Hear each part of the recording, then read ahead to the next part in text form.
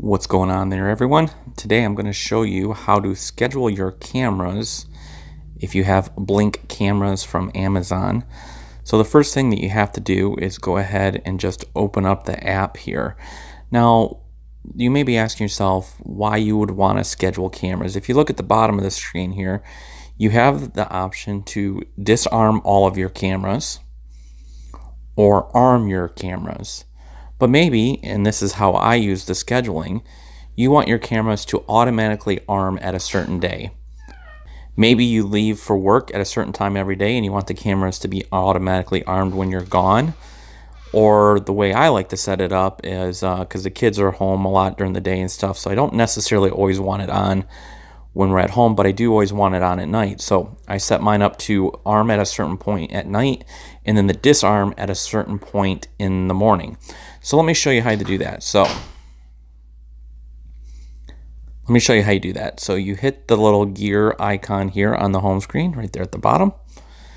And then what you need to do is go down to system settings. This is called uh, whatever you called it. And then you want to go into scheduling, which is the second one down here. You click that on, and then it gives you these drop downs. And what this is showing you is when it comes on at the very bottom here, very bottom here, right down here, it's going to, that is when it comes on. So you can see at different times during the day, you can set you know, Monday, Tuesday, Wednesday, days of the week that you work to come on at different times. So you have individual control of every day during the week.